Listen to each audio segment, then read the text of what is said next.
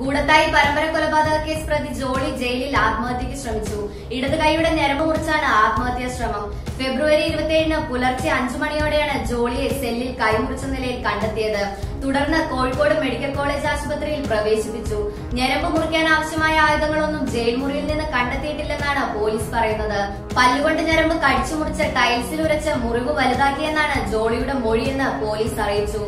എന്നാൽ ഇത് വിശ്വസനീയമല്ലെന്ന് പോലീസ് തന്നെ പറയുന്നു കൈമുറിക്കാൻ ആവശ്യമായ വസ്തുക്കളൊന്നും ഇല്ലാതെ ഇതെങ്ങനെ സാധിക്കുമെന്നതാണ് ദുരൂഹത ഉയർത്തുന്നത്